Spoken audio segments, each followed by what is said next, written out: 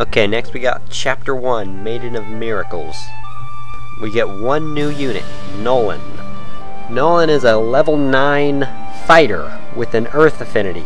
He will turn into a warrior and then a reaver. He starts out as a C in axes, and when he becomes a reaver, he becomes a C in bows. And I will cover this later in more detail, but when Nolan becomes a warrior, he will inexplicably be able to use crossbows. Nolan comes with the super skill known as Nihil. This skill allows you to nullify the skills of the enemy. And the only ones it doesn't nullify are ones that don't relate to battling or skills like critical plus something. And in case you're wondering, units that both have Nihil do not cancel each other out. Nolan starts out with a Steel Axe, which is the third strongest metal, and a Vulnerary, which heals 20 HP, like I've already said. Nolan is known by many as one of the only three worthwhile Dawn Brigade units. Since he starts out at a pretty high level, and you're going to be using him a lot, he's going to level up pretty quickly, and his Steel Axe gives him an advantage over his enemies right from the start. When it's all said and done, he can easily turn into one of your best axe users. He's going to have pretty high stats overall, but mainly HP. Speed is not going to be a problem for Nolan, and it should rival his high HP, actually. But if you're unlucky, he can get completely ruined in strength. By the time you get to the really important chapters, he can actually have pretty low defense. But like Edward, his speed can really make up for that. And his resistance really shouldn't be too low, unless you're really unlucky. And like I've said, resistance is the easiest weakness to cover up. Really, Nolan's biggest weakness is actually his defense, but uh, like I said, he's got really high HP, so that should really make up for that. And this may go without saying, but most physical units aren't going to really have a high magic rating.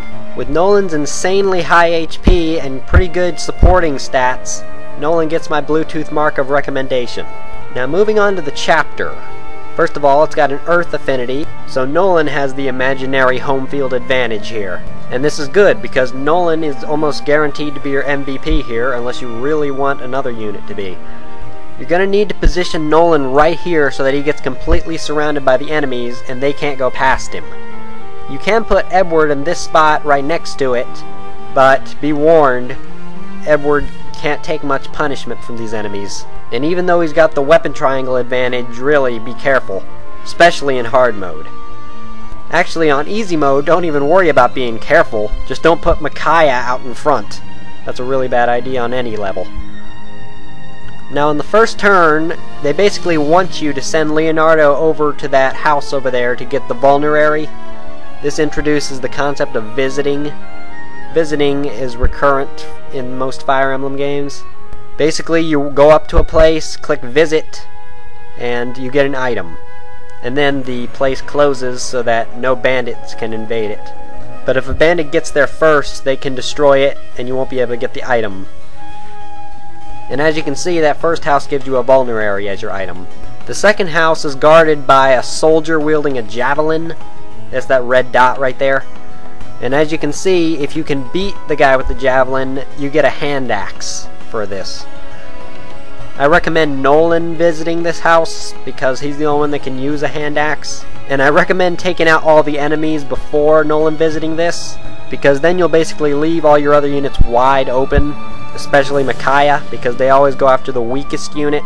And Micaiah's speed should be pretty low at this point. And of course her health now if you need to, you can position Edward out of the way so that you can get some indirect attacks from Micaiah or Leonardo if you want him.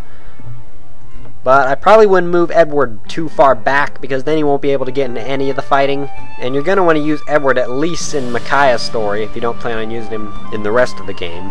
Now Nolan getting that hand axe is in no way a necessity on any level really because um, the only indirect attacker is this archer that's out to the side, and you can almost ignore him if you stay out of his range. So really visit the hand axe place with whoever you want, and then you can trade later.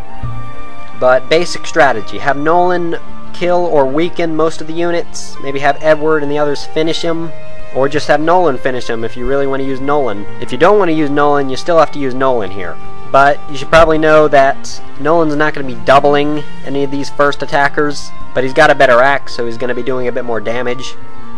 And because he's going to be attacked by two at once and three if Nolan kills him, then you're really going to want to keep Nolan healed, either by Micaiah's sacrifice, by putting Micaiah right behind him, or his vulnerary.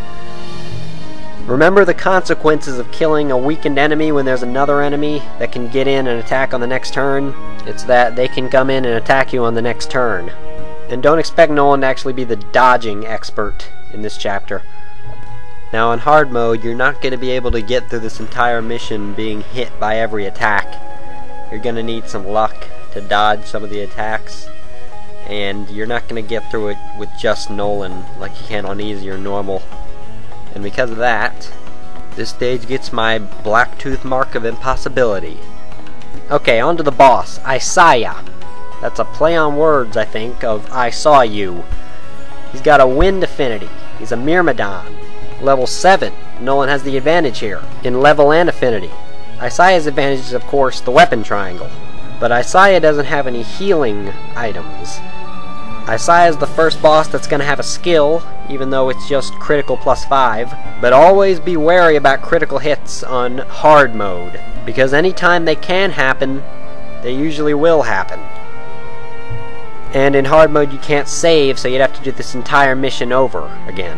Now I forgot to mention this, but in easy mode your mission is just to take out the boss, and in hard and normal you have to escape in a certain number of turns and that certain number happens to be 10 in this instance.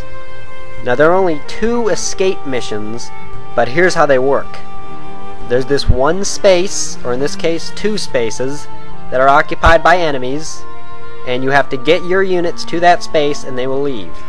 Now if you get your units before Micaiah to escape first, you will get a little more bonus experience than if you just have Micaiah escape, because once Micaiah escapes, you've won the mission and you get a little more bonus experience for each unit that escapes.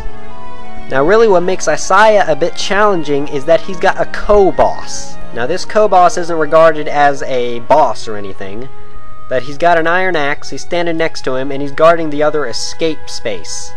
So you have to defeat him or Isaiya. I recommend defeating Isaiya because you can see that little thing in the top left, steel sword. You get his steel sword for beating him. I really recommend defeating both, but if you can't defeat both, just defeat Isaiya. The other guy didn't do anything wrong, apparently. An annoying thing about this co-boss is that when you defeat him, or I think even attack him, it will cause Isaiya to move. If you attack Isaiya, the co-boss won't move. So I do recommend defeating Isaiya first if you plan on defeating them both. And whether you believe it or not, Nolan is the best choice for attacking Isaiya, especially in hard mode when the weapon triangle doesn't apply. Now in a one-on-one -on -one fight, Edward will not be able to defeat Isaiya, so don't try it. But you can have Micaiah or Leonardo there to back up Nolan. And you can get Edward to attack the co-boss, I think that's okay. Just don't do anything too risky on hard mode. Because once about turn 8 or so, reinforcements will start to come, and don't try to take them all out. You won't be able to. Now like before, you will lose if an ally dies, but this time you will also lose if 10 turns pass. So time is a factor here. Well, I guess that wraps up this video. Give me a 4-star rating. Tune in next time for Chapter 2.